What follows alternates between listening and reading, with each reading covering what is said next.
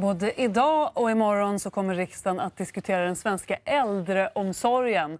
Detta efter den senaste tidens missförhållanden som avslöjats. Mm. Igår så presenterade Socialstyrelsen en enkät där 87 000 äldre besvarar frågor om kvaliteten i hemtjänst och eh, i äldreboende.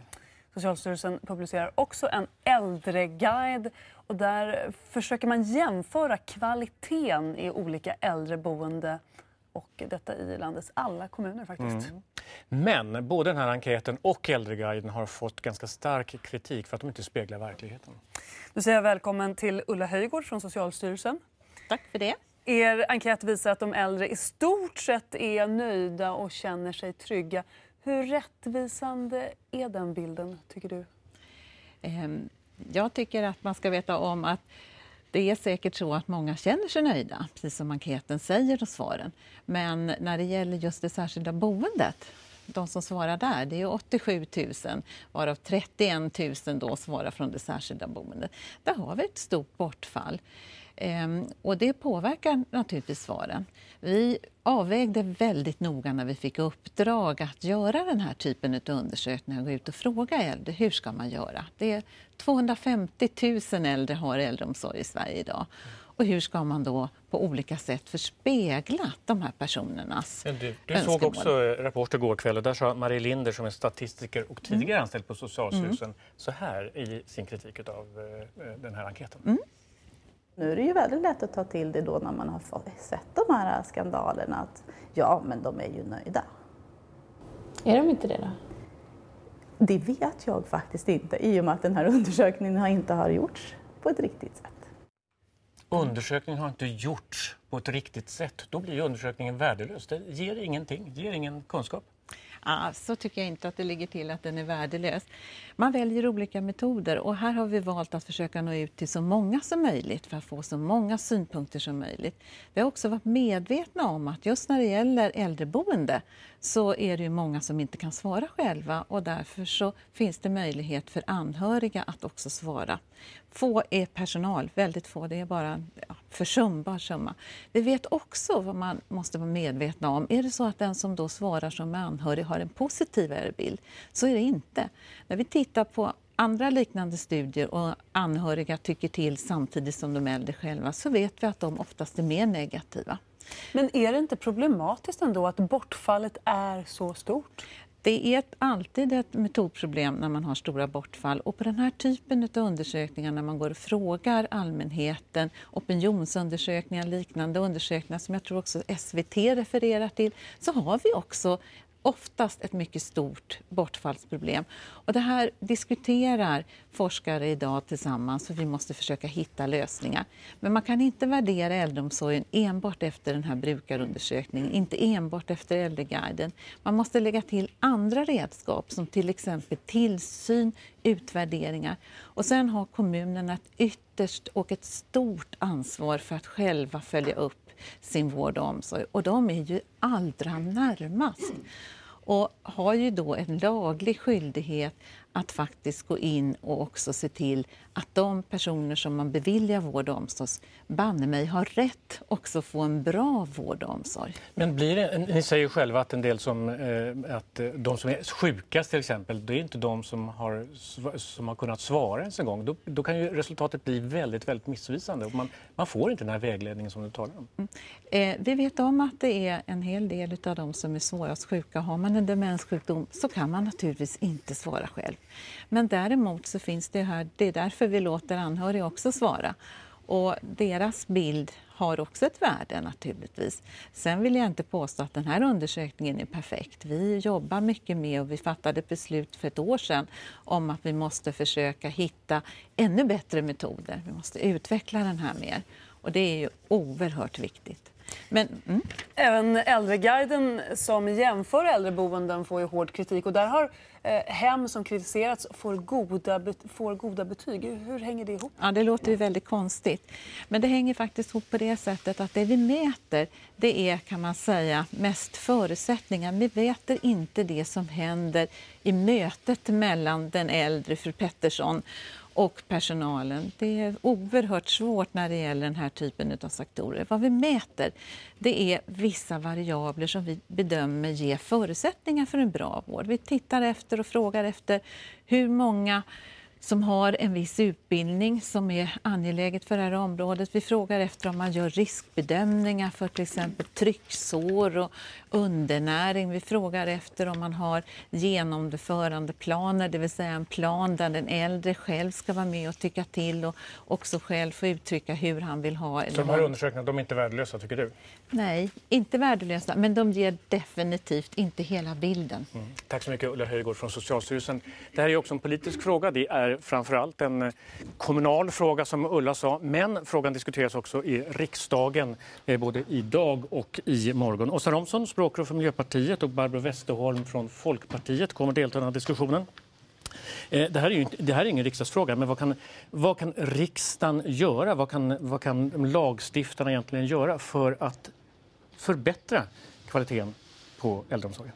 Skulle vilja säga att det också är en riksdagsfråga. Det är också ett ansvar från riksdagen att det finns ett regelverk och att det finns institutioner och myndigheter, att Socialstyrelsen gör sitt, sitt jobb i det här. Men eh, det vi tror är viktigt är att man ytterligare hjälper kommunerna att sätta eh, goda kvalitetskrav och göra eh, mer kvalificerade upphandlingar. Och ett verktyg som riksdagen redan har fattat beslut om eh, är när det gäller just demensvården, att man faktiskt vill se tydligare riktlinjer om, om bemanningen i demensvården. Nu vet vi att en stor del av äldreomsorgen också är, är fokuserad kring demensboenden men att även den övriga äldrevården så är bemanningen och hur, hur god eh, omsorg man faktiskt kan ge handlar många gånger om hur många timmar har man tillgång till, till personal, till eh, mm. kvalificerad personal som det pratades om här som har utbildning. Tycker, tycker ni att ni famlar i blindo? För Socialstyrelsens då undersökningar, enkäten och eh, Vårdguiden får kritik att, det liksom, att man inte riktigt egentligen, det är lite goddag yxskaft ibland. Jag tror att det är väldigt svårt på ett nationellt, eh, eh, med ett nationellt instrument göra det både pedagogiskt och läsbart och samtidigt spegla hela, hela eh, spektrumet. För det, det, vi vet att, att kvalitet i omsorg på kommunal nivå är väldigt, väldigt svårt. Jag har själv jobbat i kommunen och vet hur mycket man i en stor kommun kan jobba med för att, för att varje äldreboende, varje omsorgsplats ska, ska få så att säga, rätt, eh, rätt omsorg. Men vi tror att det är väldigt viktigt att kommunerna är med och tydligt sätter också kvantitativa mål och eh, regler för, för just bemanningen. För den är mm. ändå en, det är en av nyckelfrågorna. Hårdare krav på kommunerna, säger Miljöpartiet. Håller Folkpartiet med? Och regeringen? Eh, det är klart, kommunerna har ju huvudansvaret för äldreomsorgen och därför så eh, har vi ju också förstärkt tillsynen. Socialstyrelsen fick ju över från länsstyrelserna 2010 eh, tillsynen över äldreboendena har ju gjort en rad nedslag och påtalat brister och, och, fel av olika slag. Men när man, när man hör socialtjänsten berätta så låter det lite grann som man famlar i mörkret när, när de här undersökningarna är så vaga. Men man baserar sig ju inte bara på undersökningarna utan det är ju tillsynen, nedslag man får. Man får ju också in anmälningar eh, om eh, då missförhållanden, eh, om människor som har farit illa och det djupdyker man i. Så att de, den här statistiken, det är ju bara en, eh, ett underlag och den statistiken är ju viktig för kommunerna och de politiskt ansvariga att lära sig att läsa, att tolka. Eh, kan man se då att eh, det är låg utbildningsgrad, personalen jämfört med andra kommuner, ja då får man ju lov att ta tag i den frågan. Mm. Eh, Åsa Romson, Miljöpartiet talar om en, ett skärpare, skärpare krav på bemanningarna. Tycker regeringen det också? Ja, bemanningen ska ju anpassas utifrån de boendes behov och det kan se väldigt olika ut. Och det är en fara att eh, eh, ge siffror, eh, siffror på det här. Utan man ska ju för varje boende gå igenom vad är det för behov som vederbörande har, hur kan de tillgodoses. Sen ändras ju behoven över tid. Eh, om du får in en relativt frisk äldre i boendet så är det ett behov, en typ av behov. När du ligger på ditt yttersta då kan du behöva nattvak, du behöver andra insatser. Mm. Så att eh, det, det viktigaste är att... Så att, du, menar, du menar att siffror är, det går inte att använda siffror? Nej, då, då blir det fluffigt, det blir, det blir ingenting kvar. Hur ska man, någonstans måste man det, mäta. det, man kan ställa krav på utbildning och man kan eh, påtala att behov eh, eh, växlar över tid och med diagnos. Man kan också beskriva vilken, vilka kompetenser Men det här som kan ju inte behövs. riksdagen göra.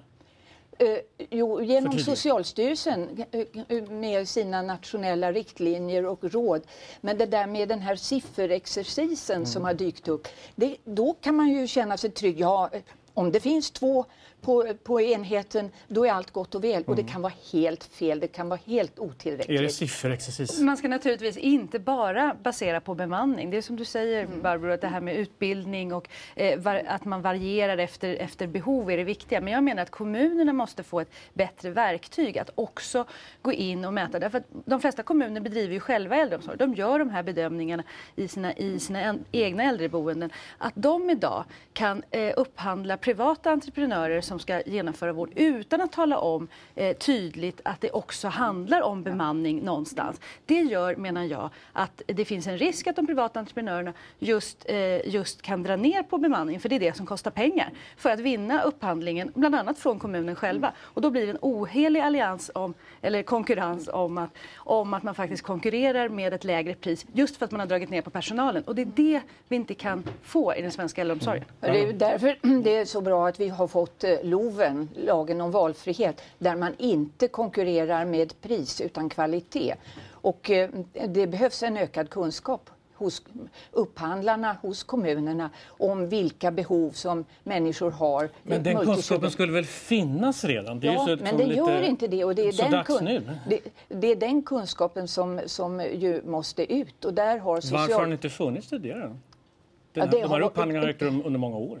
Ja, den, eh, det har varierat mellan olika kommuner. Jag åkte runt i väldigt många äldreboenden och på sina håll är det lysande bra. På andra håll är det in, alls inte lika Men eh, Barbro, väl. ni har ju också tryckt på väldigt snabbt och väldigt hårt för att man ska få eh, med, in mer privata entreprenörer. Och det har man gjort i en takt där ibland i vissa kommuner eh, har det också drivits på av rent ideologiska krav att man vill få in just en privat Finns det entreprenör. på Men- och då finns det en risk när man inte ställer de tydliga också kval, de kvantitativa Men då ska jag- eh, kraven. då Så det vill jag- då vill jag Så komma- kommunerna måste själva få välja om man ska använda LOVen eller inte och inte predika det som att det skulle bli lösningen på allt, för det är det inte. Vanvård är oacceptabel. Vanvård har förekommit på kommunalt drivna äldreboende, på privat drivna äldreboende, på socialdemokratiskt i socialdemokratiskt styrda kommuner, i alliansstyrda kommuner. Det här är Det alltså gjort, ett att problem. jobba med Rakel. kvalitetsfrågorna Ja. är olika om det är inom kommunal, Nej. kommunens egna, egna boenden eller inte. Det Nej. kräver mycket mer av, av, av lagstiftning, det kräver också mer av hjälp till kommunen att upphandla när vi Finns har det någonting annat man kan göra? Alltså, så, när, om, ska. Socialstyrelsen har det ansvaret? Det funkar ju inte särskilt bra, verkar det som.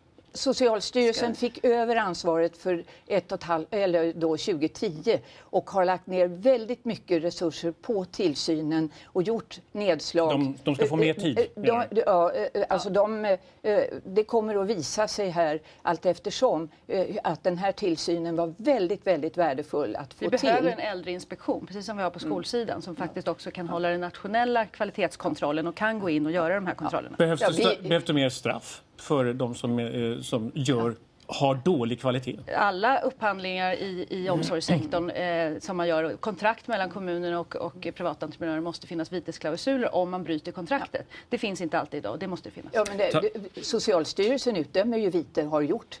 Men det finns inte alltid i kontrakten och det är ett stort problem ibland. Så det Åsa Romson, Miljöpartiet och Barbro Westerholm, Folkpartiet. Den här diskussionen kommer fortsätta i riksdagen och eh, SVT Forum kommer sända den här utfrågningen under förmiddagen också.